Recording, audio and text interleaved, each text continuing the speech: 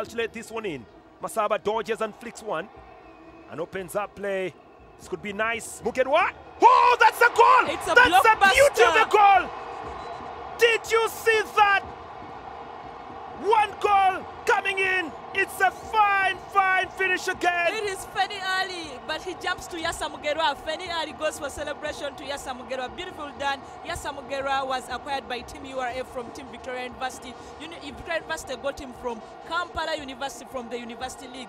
All you can say, a very brilliant goal. It like it looks like it had a deflection in it, but all I can say, it is a very good goal. URA comes back in this game. As it stands, if the game ends like this, URA progress to the next stage.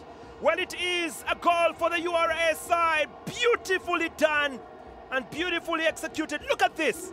Good control, good strike. Very, very good strike, actually.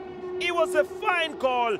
Controlled perfectly and struck in very well by Mugerwa Yassar. Yeah, Yassar Mugerwa does it. The former Victoria University.